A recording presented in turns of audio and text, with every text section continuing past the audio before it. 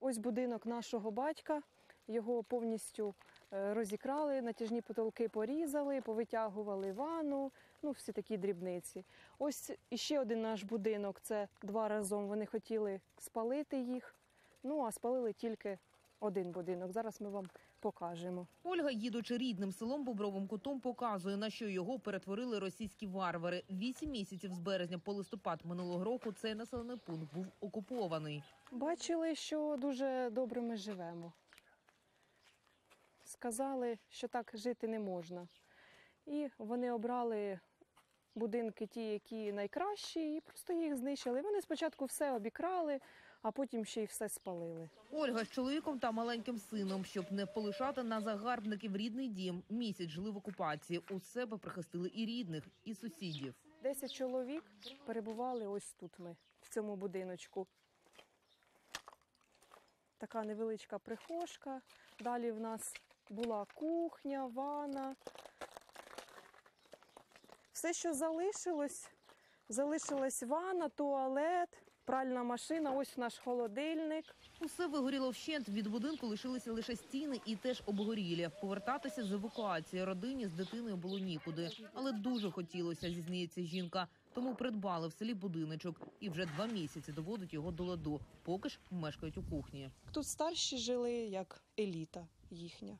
Так, але після того, як ми приїхали сюди подивитися, що тут було, тут було дуже багато чужого майна людського, двори сміття.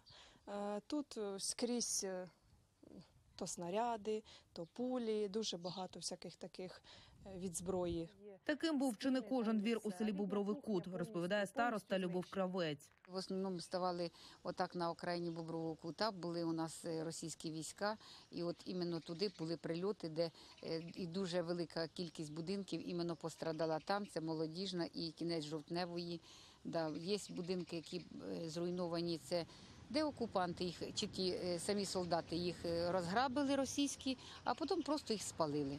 До початку повномасштабного російського вторгнення тут проживало 250 людей, з них третина діти. Нині багатьом повертатися нікуди. За словами старости села, усі мають велику надію на відбудову, яку проведуть в рамках всеукраїнської програми Пліч опліч. По проектам і відновити е, наш старостат, і, і зробити діткам майданчик, і зробити терцентр для е, наших е, одиноких пенсіонерів, і відбудувати, і від, зробити ремонт в школі, і наш пам'ятник однос, загиблим односельцям. А це вщент зруйноване село Ольгіно. Його російські загарбники захопили у березні минулого року. Сім місяців в окупації протрималися лише восьмеро місцевих. Серед них і пан Микола. Оце тут п'ять з половиною місяців ми просиділи в цьому підвалі, дві сім'ї. Тут були в нас ще таке, ну, де було лежати, це вже повиносилось, бо воно поцвіло все. Все ж розбите, вода теж зверху, сирость. Коли українські військові вигнали загарбників із села, будинок пана Миколи був пошкоджений снарядами. Про те, що довелося пережити, чоловік згадує неохоче. Провіряли, намікали, шманали, в підвал два рази, коли не було, теж їздив, то люди просили, там правиться, там правиться, то, то консерву покрадуть, то ще щось начудять, поперевертають.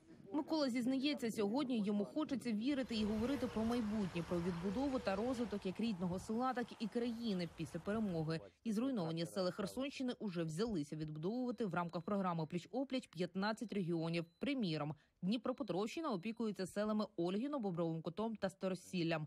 У подальшому набути досвід втілюватимуть у життя і в інших постраждалих регіонах.